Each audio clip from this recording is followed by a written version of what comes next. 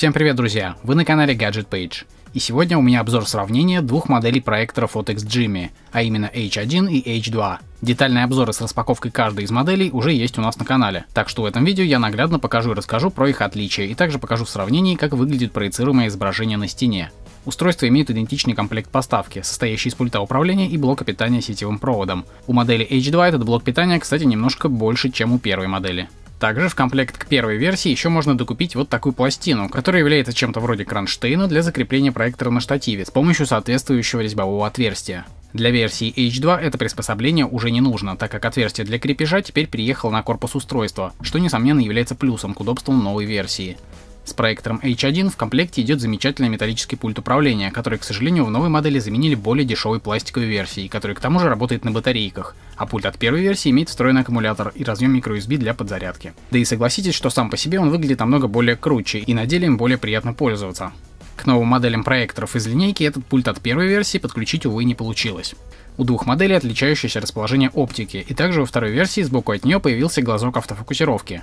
У первой модели шторку нужно открывать вручную, а на новой модели это действие уже происходит автоматически при включении проектора. На модели H1 также присутствует отверстие регулировки оптического зума, который на новой модели не нужно. Также в обновленной модели заменили пластиковый элемент в оптике на стекло, что является очень правильным решением, так как были жалобы на то, что этот элемент очень легко подвергался повреждениям. H2, кстати, позволяет получить проецируемое изображение на 20% больше, чем может выдать модель H1 с того же расстояния. Хотя характеристики максимального разрешения здесь на одном уровне. Обе модели могут выдать честное Full HD разрешение на стену, и также обе способны читать и воспроизводить 4К файлы. Для подключения различных источников сигнала и не только, на задней стороне корпуса у обоих в распоряжении богатый набор интерфейсов. Здесь есть по паре HDMI и USB выходов, также присутствует разъем для кабеля интернет и пара аудиовыходов, представленных одним оптическим SPDIF и одним обычным 3,5 мм разъемами. Отличается на моделях только расположение всех этих интерфейсов и также расположение вентиляционных отверстий сзади и в других некоторых местах. Акустика Harman Kardon и элементы низкочастотных динамиков у двух моделей находятся в одном месте.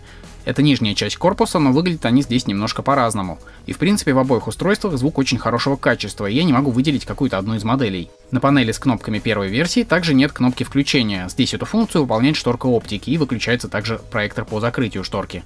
Стоит добавить, что модель H1 и H2 являются международными глобал версиями, при том, что промежуточная H1S была предназначена только для китайского рынка, и в отличие этих не имела из коробки возможности поменять язык на русский, но и также имела немного иную китайскую оболочку. Меню и вид интерфейса обоих проекторов это то, с чем я вас уже неоднократно знакомил. Отличия здесь минимальны и весь интерфейс в принципе идентичен. Есть небольшие отличия только в присутствии некоторых новых настроек в более продвинутой версии. А вот более значимыми желанными отличиями является увеличенная яркость новой модели. H1 выдает яркость в честных 900 ANCI люмен, а на второй версии этот показатель увеличился до 1350 тех же ANCI люмен.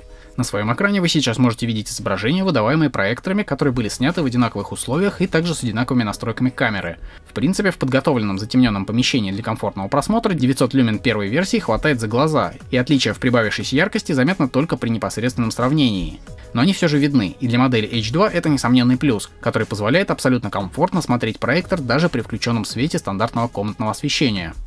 Данные других характеристик для сравнения вы сейчас можете видеть на своем экране.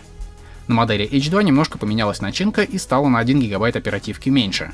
Но в быстродействии устройства и работе в интерфейсе и приложениях отличий замечено не было, и первая и вторая модель без каких-либо тормозов и подлагиваний справляются со всеми поставленными задачами.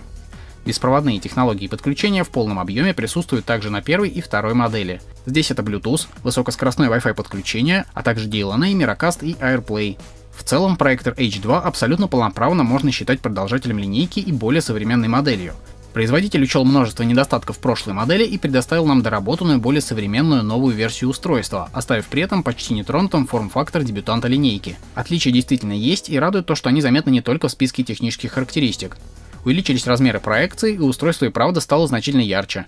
Из этого видео сравнения, я думаю, станет понятно, что при покупке модели H2 вы платите больше, но и получаете свежее и более продвинутое устройство по сравнению с первой версией, которая, кстати говоря, по всем своим характеристикам держится и сейчас на одном уровне с конкурентами по рынку, являясь одним из достойнейших проекторов за свои деньги. Все актуальные цены на устройство вы найдете по ссылкам в описании под видео. Свое мнение или отзыв об одном из проекторов из обзора можете писать в комментарии. А на этом мой обзор подходит к концу. Не забывайте подписываться на наш канал и ставить лайк, если обзор вам нравится. Всем спасибо за просмотр, всем пока.